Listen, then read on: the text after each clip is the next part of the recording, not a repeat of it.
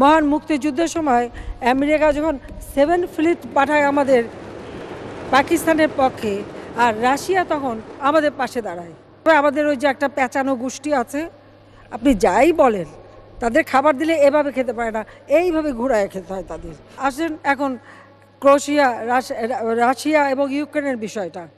মাননীয় স্পিকার, জাতিসংঘে যখন প্রথম প্রস্তাবটা আসলো আমরা দেখলাম সেই প্রস্তাবটায় সেখানে কোনো মানবাধিকারের কথা নাই, যুদ্ধ বন্ধের চেষ্টা নাই, সেখানে কোনো বিষয় নাই।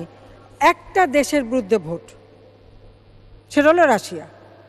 তখন আমি বললাম যে না, এখানে তো আমরা ভোট দেবো না। কারণ যুদ্ধ তো একা একা বাঁধে না। উস্কানি তো কেউ না কেউ দিচ্ছে। দিয়ে টিয়ে তো বাধা, বাঁধালো যুদ্ধটা। তাহলে একটা দেশকে কন্ডেম করা হবে কেন? সেই জন্য আমরা ভোট দেওয়া থেকে বিরত ছিলাম। কারণ রাশিয়া আমাদের বন্ধু প্রতিম দেশ। মহান মুক্তিযুদ্ধের সময় আমেরিকা যখন সেভেন ফ্লিট পাঠায় আমাদের পাকিস্তানের পক্ষে, আর রাশিয়া তখন আমাদের পাশে দাঁড়ায়। কাজে যারা আমাদের দুঃসময় আমাদের পাশে দাঁড়িয়েছে, আমরা নিশ্চয়ই তাদের পাশে থাকব। কিন্তু তারা যদি কোনো অন্যায় করে, সেটা আমরা মানব না। আর আমরা যুদ্ধ চাই না, যুদ্ধ আমরা চাই না। কিন্তু যুদ্ধটা বাধালো কারা? উস্কানিটা কারা দিল সেটাও তো আপনাদের দেখতে হবে। সেই জন্য আমরা তখন সিদ্ধান্ত নিলাম যে আমরা যেহেতু এটা শুধু একটা দেশের বিরুদ্ধে আমরা ভোট দেব না। আর দ্বিতীয় প্রস্তাবটা যেটা আসলো সেটা হচ্ছে ইউক্রেনে এই যুদ্ধের কারণে মানুষের যে কষ্ট হচ্ছে, রিফিউজ হয়ে যাচ্ছে, ছোট বাচ্চা থেকে শুরু করে সবাই কষ্ট পাচ্ছে, সেখানে মানব অধিকারের বিষয়টা ছিল। ইউক্রেনের দ্বিতীয় প্রস্তাবে যেহেতু মানবাধিকারের প্রশ্নটা সেইখানে বাংলাদেশ ভোট দিয়েছে।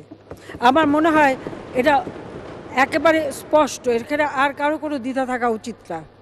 তবে আমাদের ওই যে একটা পেঁচানো গোষ্ঠী আছে, আপনি যাই বলেন, তাদের খাবার দিলে এভাবে খেতে পারে না, এইভাবে ঘুরায় খেতে হয় তাদের।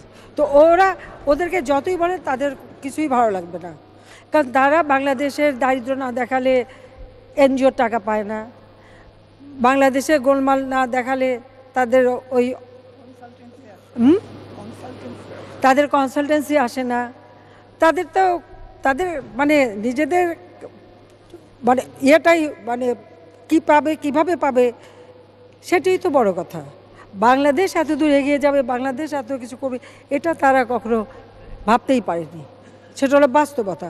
তা আমি আশা করি যে এরপরে আমাদের মাননীয় সংসদ সদস্য যারা আছেন বা যারা আমার প্রশ্ন তো শুনছেন, তাদের কাছে এটা স্পষ্ট। এটা নিয়ে এখন লেখালেখি যেই করুক, যখন একটা দেশের বিরুদ্ধে প্রস্তাব আমরা দেইনি ভোট, যখন মানবাধিকারের বিষয় আসছে, মানবতার বিষয়টা সামনে আসছে, আমরা ভোট দিয়েছি। পরিষ্কার। ধন্যবাদ মাননীয় স্পিকার।